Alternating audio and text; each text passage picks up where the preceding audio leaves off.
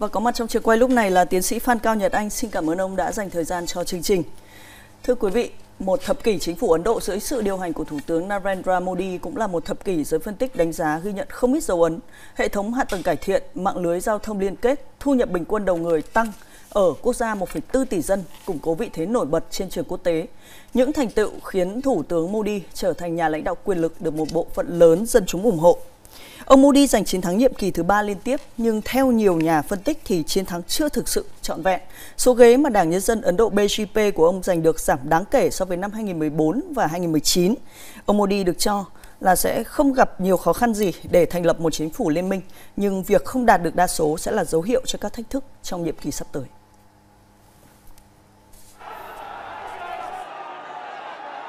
Khối Liên minh Dân chủ quốc gia mà Đảng Nhân dân Ấn Độ cầm quyền là nòng cốt đã về nhất, giành được 286 ghế trong tổng số 543 ghế của Hạ viện Ấn Độ khóa mới. Liên minh đối lập do Đảng Quốc đại lãnh đạo đã giành được 230 ghế, nhiều hơn dự đoán. Với kết quả trên, Liên minh Dân chủ quốc gia đã không thể tái lập chiến thắng áp đảo năm 2019. Trên hết, họ đã không đủ số ghế cần thiết để tạo ra liên minh chiếm đa số tuyệt đối tại Hạ viện khóa mới. Kết quả cuộc bầu cử cũng thể hiện sự đón nhận của cử tri với các chính sách của Thủ tướng Modi trong nhiệm kỳ vừa qua. Bên cạnh những thành tựu rất đáng ghi nhận, rõ ràng những vấn đề hiện tại của nền kinh tế cũng đang thực sự tác động tới tâm lý của cử tri. Kết quả bầu cử cho thấy chính phủ mới sẽ phải hoạt động với sự tham vấn nhiều hơn, cân nhắc kỹ lưỡng hơn, bởi họ sẽ gặp phải một phe đối lập mạnh mẽ hơn, chứ không phải là một phe đối lập yếu trong 10 năm qua. Um, Đây thực sự là một tình huống mới đối với người dân Ấn Độ cũng như Thủ tướng Ấn Độ. Việc tiếp tục khẳng định vị thế của Ấn Độ trên trường quốc tế cũng như giải quyết các vấn đề trong nước như tình trạng bất bình đẳng ngày càng gia tăng, tỷ lệ thất nghiệp cao, giá cả leo thang sẽ là những thách thức chờ đón ông Modi trong nhiệm kỳ thứ ba. Một số ý kiến bình luận về kết quả của bầu cử tại Ấn Độ rằng khi Thủ tướng Modi bước vào nhiệm kỳ thứ ba, các thành tích đạt được trong một thập kỷ cầm quyền vừa rồi, dù rất nổi bật, rất đáng kể, nhưng chưa khỏa lấp được nhiều thách thức cần giải quyết. Xin được đặt câu hỏi với vị khách mời tại trường quay, tiến sĩ Phan Cao Nhật Anh. Ông đánh giá sao về cuộc bầu cử vừa rồi tại Ấn Độ? Cuộc bầu cử dường như có rất nhiều cái nhất và được đánh giá là tương đối bất ngờ. Vâng thì đúng như nhà báo đã nói thì cái cuộc bầu cử lần này chúng ta thấy có nhiều cái nhất ngay từ cái việc mà tổ chức bầu cử cho đến cái kết quả. Thì đây là cái quy mô bầu cử nó lớn nhất thế giới. Chúng ta biết là một cái đất nước mà đông dân nhất thế giới thì cái số lượng cử tri là gần một tỷ người, trong đó số lượng bầu cử đi bỏ phiếu là khoảng 650 triệu. Và ở đây chúng ta cũng thấy là quy mô nó rất là lớn, vì vậy thời gian tổ chức cũng là dài nhất 44 ngày. Rồi thì chi phí nó cũng rất là lớn, người ta có những cái dự toán là không mất khoảng 14 tỷ USD. Và chúng ta cũng biết là sự tham gia của các chính đảng rất là nhiều. Ở Ấn Độ thì có khoảng hơn 2.600 chính đảng và tham gia cái bầu cử lần này thì có khoảng 750 đảng. Như vậy chúng ta thấy rất là lớn. Và ngoài ra như nhà báo cũng đã nói là cái bất ngờ trong cái kết quả trước cái uh, cuộc bầu cử diễn ra thì chúng ta cũng thấy rằng là người ta dự đoán là một cái chiến thắng dễ dàng cho Đảng Nhân dân Ấn Độ và Liên minh. Tuy nhiên thực tế thì Đảng Nhân dân Ấn Độ chỉ giành được 240 ghế ở trong Quốc hội. Vâng. Như vậy là chưa quá bán và họ chỉ thành công khi mà phải có các đảng liên minh mới qua bán và đó thành lập cái thủ ờ, thành lập cái chính quyền của Thủ tướng Narendra Modi. Và ở đây thì chúng ta cũng thấy là trong cái cuộc bầu cử lần này là sự nổi tiếng của Thủ tướng Narendra Modi ngay cả trong nước và trên trường quốc tế. Và chúng ta cũng thấy là kết quả bầu cử thì như vậy là Thủ tướng Narendra Modi sẽ bước vào nhiệm kỳ thứ ba và như vậy ông đã trở thành một cái nhân tố lịch sử khi mà là thủ tướng thứ hai uh, sau ông à, uh, Jawaharlal Nehru và cầm quyền ba nhiệm kỳ liên tiếp. Vâng, um, cuộc bầu cử năm nay dường như thu hút sự chú ý nhiều hơn của dư luận ờ, quốc tế hơn trước nhiều như tiến sĩ Phan Cao Nhật Anh vừa mới đề cập. Tại sao lại như vậy ạ? Và điều này có nói lên điều gì về những cái khác biệt trong vị thế ảnh hưởng của quốc gia đông dân nhất thế giới thời điểm hiện nay so với những cái kỳ bầu cử trước mà chúng ta chứng kiến vào 2019 và 2014? Thì chúng ta có thể thấy rằng là cái cuộc bầu cử lần này được sự chú ý của trong nước và quốc tế thì cũng bởi những cái những cái những cái nhất mà chúng ta cũng đã nhận thấy và cái điều thứ hai thì chúng ta thấy rằng đây chính là cái sự trỗi dậy của Ấn Độ. Nếu chúng ta nhìn lại là từ năm 2014 khi mà thủ tướng Narendra Modi cầm quyền cho đến nay thì vị thế của Ấn Độ cũng đã được nâng lên rất là cao. Ừ. Ở đây chúng ta cũng thấy là hiện nay là Ấn Độ là trở thành cường quốc ờ, thứ năm thế giới và như vậy là họ đã vượt qua Anh, Pháp và bây giờ là chỉ đứng sau Nhật Bản, Đức Trung Quốc và à, Mỹ và ừ. sự trỗi dậy của Trung Quốc thì chúng ta thấy là về mặt kinh tế như chúng ta đã nói là với cái sự tăng trưởng ngoài ra thì chúng ta cũng thấy đấy chính là dân số Ấn Độ là trở thành một cái quốc gia có tiềm lực khi mà Trung Ấn Trung Ấn Độ đã vượt qua Trung Quốc trở thành cường quốc đông nhân chất thế giới. Và trên cơ sở đó thì rõ ràng là cái tiềm lực kinh tế nó sẽ rất là phát triển. Một khía cạnh nữa ở đây thì chúng ta cũng thấy đấy chính là khía cạnh uh, quân sự. Khi mà xét đến tiềm lực của một quốc gia thì rõ ràng là Ấn Độ cũng đầu tư rất nhiều cho cái quân sự. Ví dụ như là Ấn Độ thì cũng sở hữu cái à, năng lực hạt nhân rồi thì cái lực lượng quân đội rồi thì sản xuất vũ khí vân vân. Thì tất cả những điều này thì nâng cờ ta gầm cái vị thế của Ấn Độ. Ngoài giờ đây thì chúng ta phải nói đến cái chính sách ngoại giao. Rõ ràng là trong 10 năm qua thì chúng ta cũng thấy là Ấn Độ đã thực hiện những cái ngoại giao ví dụ như có sự thân cận với Mỹ rồi thì với quan hệ đối cả Trung Quốc kể cả cái sự cạnh tranh cái khu vực biên giới rồi tất cả những nước khác như Nhật Bản Australia hay là cái coi trọng vai trò trung tâm của ASEAN nâng tấp nâng cầm cái cái mối quan hệ giữa Ấn Độ và ASEAN. Rồi thì Ấn Độ cũng thực hiện những cái chính sách hành động hướng đông rồi thì chính sách hướng đông hay là đưa ra cái khái niệm về Ấn Độ Dương Thái Bình Dương. Và đó là cái sự mà uh, chính sách ngoại giao. Ngoài ra ở đây khía cạnh nữa thì chúng ta thấy như tôi cũng đã nói đấy là sự nổi tiếng của ông Modi. Khi mà tất cả những cái thống kê thì cho thấy là ở trong nước và trên vâng. tầm quốc tế thì cái sự nổi tiếng của Modi là phải được thừa nhận chính vì vậy mà cái cuộc bầu cử lần này đã rất được chú ý trong cái thời gian qua. Vâng, xin cảm ơn tiến sĩ Phan Cao Nhật Anh. À, Đảng Nhân dân Ấn Độ BJP của Thủ tướng Modi chiến thắng nhưng khoảng cách à, tranh lệch số ghế đã thu hẹp với đối thủ lớn nhất là Đảng Quốc đại Ấn Độ. Điều này được cho cũng là một bất ngờ của kỳ bầu cử năm nay và chúng ta sẽ nghe thêm ý kiến phân tích từ phóng viên Anh Phương, thường trú truyền Việt Nam tại khu vực Trung Đông.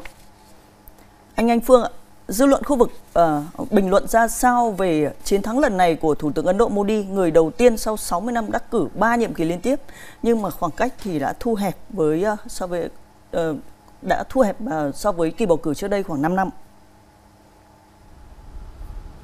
Theo một số nhà phân tích chính trị Ấn Độ thì trên thực tế ông Modi vẫn đang có một sức ảnh hưởng mạnh mẽ trong Liên minh Dân chủ quốc gia. Hay nói cách khác thì dù phải liên minh đấy nhưng Thủ tướng Modi vẫn đang nắm giữ một vai trò lãnh đạo khá thống nhất. Và đảng của ông cũng như Liên minh Dân chủ quốc gia vẫn đang có một niềm tin mạnh mẽ rằng nếu không phải ông Modi thì không ai thực sự có thể nắm giữ vai trò lãnh đạo trong lúc này. Ngoài ra, dư luận Ấn Độ cũng có một kỳ vọng, đó là việc Đảng Nhân dân Ấn Độ của Thủ tướng Modi giành được ít ghế hơn khá nhiều so với các dự báo trước đó, cũng có thể xem là một điều tích cực. Nó sẽ nhắc nhở chính phủ của Thủ tướng Modi không ngủ quên trên những thành tích lớn lao thời gian qua mà sắn tay giải quyết những vấn đề không thể phủ nhận của nền kinh tế Ấn Độ hiện nay. Đó là tỷ lệ thất nghiệp vẫn còn ở mức cao, chênh lệch giàu nghèo không hề nhỏ giữa các tầng lớp và vùng miền. Xin mời trường quay. Vâng, xin cảm ơn phóng viên Anh Phương thường chú truyền Việt Nam theo dõi khu vực Nam Á và Trung Đông. À, kinh tế tăng trưởng ấn tượng cũng là một trong những dấu ấn nổi bật của Thủ tướng Narendra Modi trong 10 năm cầm quyền vừa rồi. Kinh tế bùng nổ cùng việc ờ, vị trí chiến lược và vị thế tăng cao thời gian qua của Ấn Độ tại khu vực châu Á, tại châu Á, ờ, tại khu vực Ấn Độ Dương Thái Bình Dương, ông Modi cũng đã để lại những dấu ấn đáng kể trong hai nhiệm kỳ của mình. Trong 10 năm nắm quyền của ông Modi, tăng trưởng của Ấn Độ thể hiện ấn tượng. GDP bình quân đầu người tăng từ 5.000 đô la Mỹ lên hơn 7.000 đô la Mỹ Năm ngoái, tốc độ tăng trưởng đạt 8,2%, mức cao nhất thế giới. Hệ thống ngân hàng và tài chính ổn định, kể cả giai đoạn đại dịch. Ấn Độ đã vượt qua Vương quốc Anh, trở thành nền kinh tế lớn thứ 5 thế giới vào năm ngoái và kỳ vọng vươn lên đứng thứ 3 vào năm 2027. Thúc đẩy chuyển đổi số là một trong những thành công trong hai nhiệm kỳ của ông Modi. Chuyển đổi số tiết kiệm được khoảng 1,1% GDP. Một thập kỷ qua, cơ sở hạ tầng được cải thiện đáng kể gần 54.000 km đường cao tốc được hình thành. Ba năm gần đây, chính phủ Ấn Độ đã chi hơn 100 tỷ đô la Mỹ mỗi năm cho xây dựng cơ sở hạ tầng. Tiền chi cho cơ sở hạ tầng cho thấy tác động đa dạng trên thực tế. Đầu tư vào cơ sở hạ tầng thậm chí còn thu hút nhiều vốn đầu tư hơn. Dù ưu tiên phát triển kinh tế, việc làm vẫn là một thách thức với Ấn Độ. Gần 83% người thất nghiệp ở Ấn Độ là giới trẻ quá nửa trong đó là có bằng cấp. Với đối ngoại, với chính sách ngoại giao đa liên kết, không chọn phe, ông Modi đã gây ấn tượng mạnh mẽ khi vẫn duy trì được các mối quan hệ cân bằng giữa phương Tây và Nga. Cùng lúc, Ấn Độ vẫn tăng cường các hợp tác, đẩy mạnh các liên kết với Mỹ, hay không từ chối các quan hệ giữa Ấn Độ với Israel, cũng như với các quốc gia Ả Rập trong vùng vịnh. Mỹ và các nước phương Tây khác cần phải kết luận rằng chính sách tự chủ chiến lược của Ấn Độ có thể mang lại lợi ích cho phương Tây và giúp phục vụ lợi ích của phương Tây. Suy cho cùng thì Ấn Độ là một thực thể cực kỳ quan trọng đối với lợi ích của phương Tây. Trung Quốc là đối tác thương mại lớn thứ hai và vẫn tiếp tục là mối quan hệ quan trọng nhất đối với Ấn Độ tại châu Á. New Delhi luôn nỗ lực duy trì cách tiếp cận đúng đắn trong quan hệ hai bên dù giữa hai nước rõ ràng sẽ khó tránh nhiều vấn đề cạnh tranh. Vâng, chúng ta quay trở lại trường quay với tiến sĩ Phan Cao Nhật Anh ạ.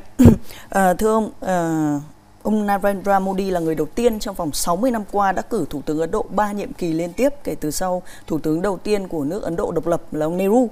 À, dấu ấn của ông Modi thể hiện cụ thể thế nào lên tình hình chính trị, kinh tế và xã hội của Ấn Độ trong suốt 10 năm vừa rồi, theo quan điểm của ông? Cái gì nổi bật nhất? Vâng, trong 10 năm qua thì có nhiều khía cạnh. Tôi cũng nhấn mạnh một số cái khía cạnh nổi bật. Thứ nhất, chúng ta phải nói rằng đấy chính là tăng trưởng kinh tế. Như chúng ta thấy là trong 10 năm qua thì ông đã uh, thúc đẩy kinh tế Ấn Độ phát triển và tăng trưởng cái GDP của Ấn Độ. Và đặc biệt ở đây thì chúng ta thấy là GDP bình quân đầu người đã tăng lên. Ví dụ năm 2014 thì khoảng 1.500 đô la thì đến bây giờ đã khoảng 2.500 đô la một đầu người trong một năm. Và ngoài ra chúng ta cũng thấy và ngoài phát triển kinh tế đấy chính là ông cũng đầu tư vào cái cơ sở hạ tầng. Chúng ta thấy là ông đã xây dựng hàng nghìn km đường rồi các đường cao tốc và nó làm uh, xóa gắn bó giữa cái nông thôn và thành thị chúng ta cũng biết là Ấn Độ thì có cái sự khác biệt giữa nông thôn và thành thị. Do đó, còn một cái cạnh nữa, chúng ta cũng thấy là Ấn Độ đã thu hút được cái vốn đầu tư. Khi mà tạo ra những cái môi trường với cái nguồn lực, tài nguyên thiên nhiên, đất rộng, dân số thì đã thu hút được vốn đầu tư. Chúng ta cũng thấy là rất nhiều những cái công ty nước ngoài đã đầu tư vào Ấn Độ và Ấn Độ trong tương lai cũng có thể trở thành công xưởng của thế giới. Ví dụ như các công ty về Samsung hay là Apple của Mỹ cũng đã từng đầu tư vào Ấn Độ. Rồi chúng ta cũng biết một cái khía cạnh nữa, đấy chính là cái ấn, chính trị Ấn Độ thì ổn định. Mặc dù cái cuộc bầu cử lần này thì người ta cũng nói rằng rõ ràng là kết quả không như mong muốn của BJP của Đảng Nhân dân Ấn Độ. Tuy nhiên thực tế thì ông Đảng Nhân dân Ấn Độ và Liên minh thì vẫn chiến thắng. Như vậy chúng ta có thể nói ba kỳ liên tiếp là à, Đảng Nhân dân Ấn Độ vẫn cầm quyền lãnh đạo và như vậy nó tạo ra cái sự ổn định chính trị và rõ ràng ổn định chính trị thì lúc đấy kinh tế hay những cái khác mới phát triển. Đấy là một điều rất là quan trọng tôi cho rằng cái vai trò của Ấn Độ. Một cái cạnh nữa thì ở đây tôi cũng cho rằng là trong cái 10 năm qua thì là nâng cao cái vị thế của Ấn Độ. Chúng ta biết rằng là Ấn Độ là một cái quốc gia mà có sự bất bình đẳng nó có sự phân biệt về giới. Và do đó thì những chúng ta cũng thấy thể hiện rõ là cái vị thế người phụ nữ được nâng lên đặc biệt ngay trong cái cuộc bầu cử vừa qua tỷ lệ cử tri nữ đi bầu là rất là lớn gần bằng so với nam giới. Ngoài ra nó còn thể hiện rõ đây là cái tính quyết định ở trong cái lá phiếu chứ không phải là chỉ đi bầu mà sự ảnh hưởng của nam giới. Đó tôi cho rằng một thành quả.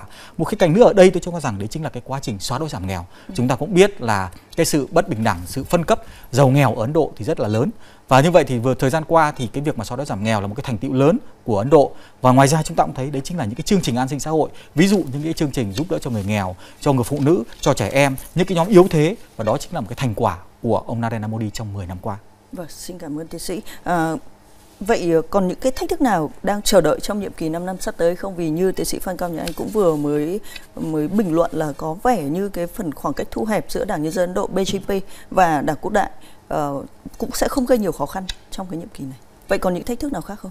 Vâng, thì chúng ta cũng thấy rõ ràng là kết quả bầu cử cho thấy là cái cục diện chính trị ở Ấn Độ đã có sự thay đổi. Ừ. Trước đây chúng ta cũng biết là chỉ riêng Đảng Nhân dân Ấn Độ là đã à, áp đảo các ghế ở trong Hạ viện đã quá bán, nhưng nay họ cần phải có liên minh thì mới quá bán. Và như vậy tôi cho rằng cái việc đầu tiên thì chính là phải có cái sự ổn định chính trị nội bộ. Bởi vì khi mà cái Đảng Nhân dân Ấn Độ mà không áp đảo thì chắc chắn ông cần phải có cái sự liên minh để có sự đồng nhất thông qua các quyết sách chính trị. Ừ. Do đó ổn định chính trị tôi cho rằng là cái công việc đầu tiên trong cái nhiệm kỳ tới. Cái điều thứ hai thì chúng ta nói là cái thách thức đấy chính là cái vấn đề việc làm. Rõ ràng là cái tỷ lệ thất nghiệp ở Ấn Độ là trong nhiều năm qua là vẫn ở mức cao khoảng 7% và đặc biệt ở đây đấy chính là cái tỷ lệ thất nghiệp của giới trẻ. Những cái thống kê cho thấy là sinh viên đại học của Ấn Độ uh, tốt nghiệp ra trường thì khoảng 30% là không có việc làm. Vâng. Mà rõ ràng đây là một cái tầng lớp tri thức là tương lai của đất nước mà với cái tỷ lệ như vậy là rất là cao. Chính vì vậy mà chính quyền tương lai chắc chắn sẽ phải tiếp tục khắc phục về cái vấn đề này.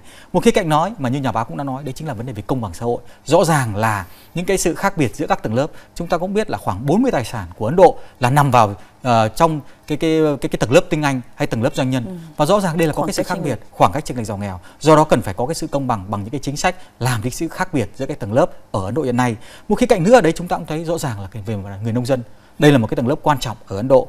Và chúng ta cũng biết là cái vấn đề giá cả nông sản ở Ấn Độ thì là thấp. Và do đó là nông dân thực sự là trong cái thời gian qua cũng có những một số bất mãn. Chính vì vậy mà nhiệm vụ của chính quyền Narendra Modi tới đây là phải làm thế nào để nâng cao cái giá nông sản để đảm bảo cái cuộc sống cho người nông dân. Tôi nghĩ rằng đây là một vấn đề cũng rất là quan trọng. Một khía cạnh nữa tôi cho rằng đấy chính là chúng ta cũng biết Ấn Độ là một quốc gia đa dân tộc à, đa tôn giáo đa sắc tộc mà chính vì vậy cái vấn đề tôn giáo là một cái vấn đề uh, nổi bật ở Ấn Độ chúng ta cũng biết khoảng 80% dân số Ấn Độ là theo đạo Hindu ừ. ngoài ra là 14% là theo Hồi giáo ngoài ra là những cái tôn giáo thiểu số khác thì ít hơn và cái mâu thuẫn giữa uh, Hindu và Hồi giáo là một cái vấn đề ở Ấn Độ hiện nay mà tôi nghĩ rằng là trong tương lai Thủ tướng Narendra Modi thì cũng cần phải giải quyết để tránh cái sự uh, mâu thuẫn tôn giáo giữa đạo Hồi giáo và đạo Hindu ở Ấn Độ hiện nay thì tôi nghĩ rằng đó là những cái thách thức của cái chính quyền Narendra Modi tới đây.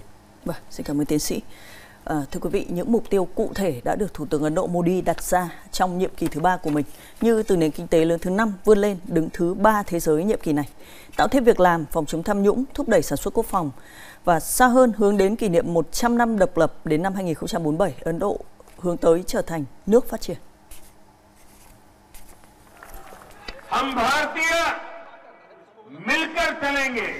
Chúng ta, với tư cách là người Ấn Độ, sẽ cùng nhau tiến lên và phát triển đất nước. Trong nhiệm kỳ thứ ba, đất nước sẽ viết một chương mới với những quyết định quan trọng.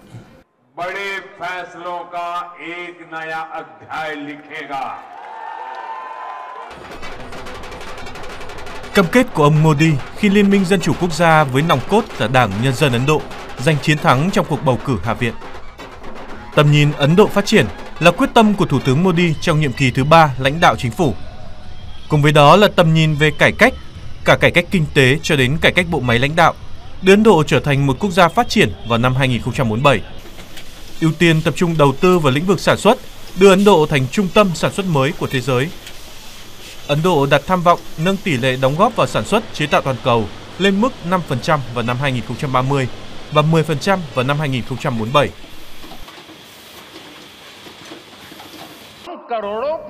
Thời gian không còn xa khi Ấn Độ sẽ trở thành trung tâm toàn cầu về năng lượng xanh, dược phẩm, điện tử, sản xuất ô tô, sản xuất chất bán dẫn, đổi mới, gia công hợp pháp và hợp đồng thương mại.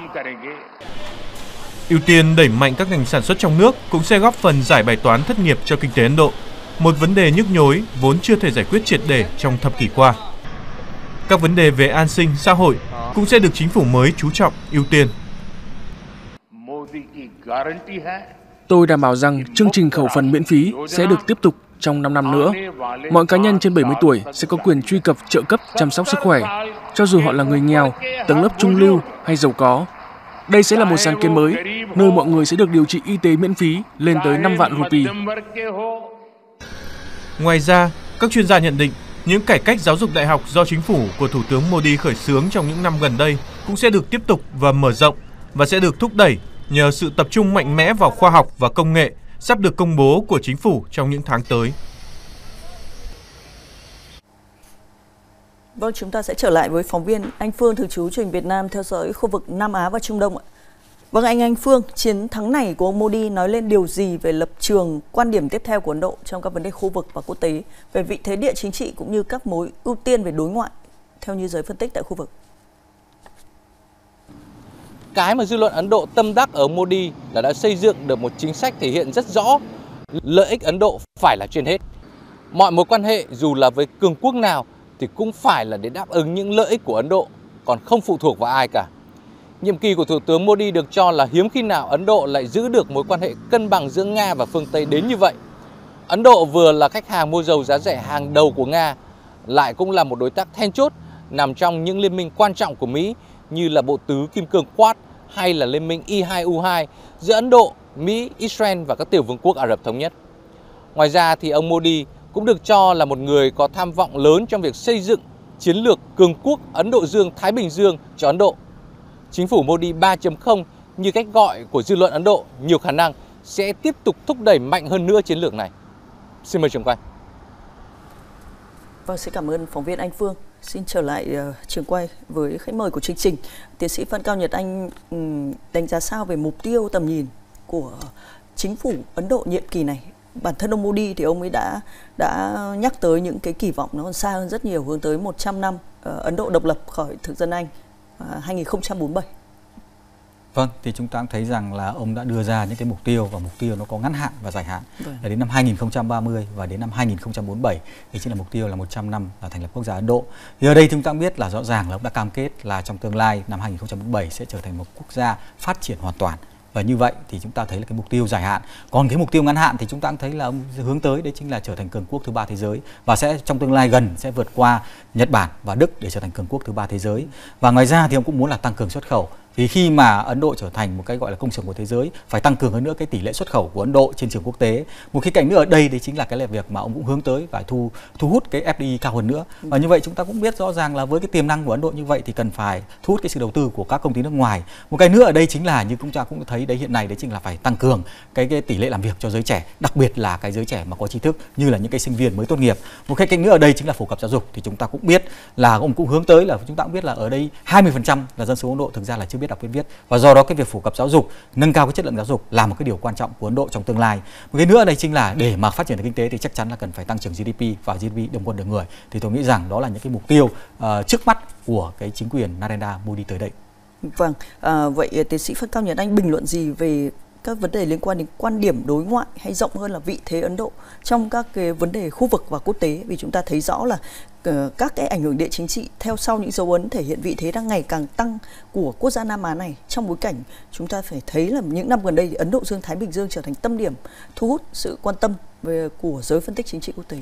Vâng, khi nói mà đến những cái chính sách đối ngoại ở đây thì chúng ta phải nói đến cái quan điểm chung trong chính sách đối ngoại của Ấn Độ. Ở đây tôi muốn nêu ra ba cái đặc trưng của Ấn Độ. Thứ nhất, chúng ta cũng biết chính sách đối ngoại của Ấn Độ hiện nay đấy chính là cái tự chủ chiến lược. Chúng ta hiểu rằng tự chủ chiến lược ở đây chính là Ấn Độ không chịu áp lực lực của bất kỳ một quốc gia nào. Và tự chủ chiến lược ở đây thì chúng ta cũng biết là trước kia Ấn Độ đặc trưng chính chính là phong trào không liên kết.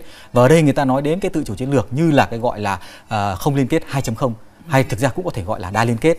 Và một cái khía cạnh nữa thứ hai tôi cho rằng đấy chính là quan điểm của Ấn Độ đấy chính là một cái thế giới đa cực ở đây chúng ta cũng biết là Ấn Độ cũng đã thể hiện trong các cái chính sách ngoại giao của họ. Họ có chính sách ngoại giao láng giềng hay còn gọi là các vùng lân cận. Họ có chính sách hướng tây chính sách hướng đông rồi ừ. chuyển sang là hành động hướng đông. Rồi thì liên kết với asean nâng cấp cái mối quan hệ ấn độ và asean rồi đưa ra cái khái niệm ấn độ dương thái bình dương. Và ở đây thì chúng ta cũng thấy rõ ràng là cái quan hệ của ấn độ ờ, với khu vực và trên thế giới rất là rộng mở. Quan hệ với mỹ nhật bản trung quốc kể cả với Nga rồi cả với những cái nước khác. Và cái cạnh thứ ba thì tôi cho rằng đây là một cái cạnh nó cũng thể hiện cái đặc trưng của Ấn Độ rất là rõ. Đấy chính là cái tư tưởng trong ngoại giao Ấn Độ, đấy là cái tư tưởng trung đạo thực tế thì cái tư tưởng này nó bắt nguồn từ cái tư tưởng của Phật giáo. Có nghĩa rằng là Ấn Độ quan hệ với các nước tuy nhiên nó không quá dẫn đến cái sự quá khích. Có thể là thân thiện với Mỹ nhưng không quá thân thiện. Có thể căng thẳng với Trung Quốc nhưng không quá đến mức căng thẳng. Thì đó là cái tư tưởng trung đạo trong cái quan hệ ngoại giao của Ấn Độ.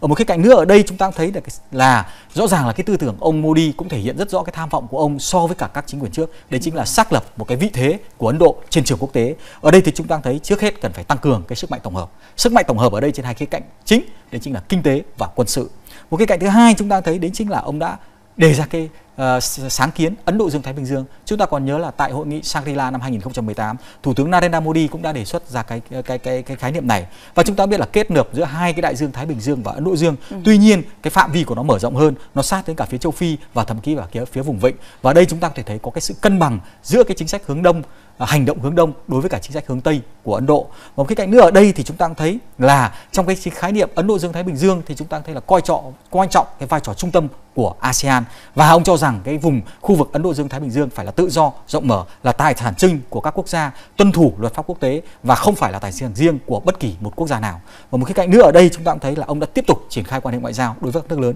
như tôi cũng đã nói, đấy là với Mỹ. Thể hiện thì chúng ta cũng thấy là cái quan hệ giữa Mỹ và Ấn Độ trong thời gian qua rất là tốt. Rồi thì quan hệ đối với cả Trung Quốc, rồi quan hệ với Nga khi mà cái uh, là một cái quan hệ đối tác chiến lược uh, trong lịch sử từ trước đến nay và quan hệ cả với nước khác như chúng ta cũng thể thấy với Nhật Bản hay là Australia.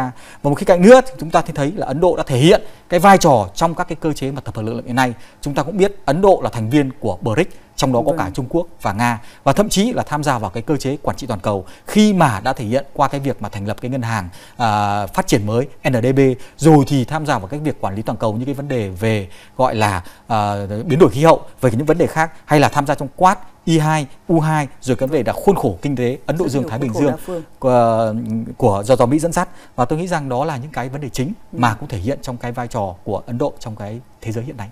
Vâng, xin cảm ơn tiến sĩ. Thưa quý vị, những vấn đề đã được nói đến nhiều về thực trạng Ấn Độ thời điểm năm 2014 như kinh tế tăng trưởng chậm hay hiện tượng tham nhũng cấp cao ảnh hưởng đến niềm tin của nhà đầu tư. Sau 10 năm đã được đánh giá là khá nhiều. Dù vậy thì thách thức vẫn còn không ít như việc tăng trưởng kinh tế dù cao nhưng tài sản phân bổ không đồng đều hay lao động trẻ nhưng thường xuyên thiếu việc làm, lạm phát và thất nghiệp ngày càng cao là mối quan tâm lớn nhất của người dân và cử tri. Thách thức không chỉ đến từ bên trong vị thế đang ngày càng tăng và vị trí chiến lược của Ấn Độ trên khu vực và thế giới khiến việc cân bằng các quan hệ với các bên vì lợi ích quốc gia sẽ tiếp tục là bài toán cân não trong nhiệm kỳ mới của Thủ tướng Narendra Modi. Và rất cảm ơn tiến sĩ Phan Cao Nhật Anh đã dành thời gian cho toàn cảnh thế giới tuần này của chúng tôi. Cảm ơn quý vị đã quan tâm theo dõi và xin kính chào tạm biệt.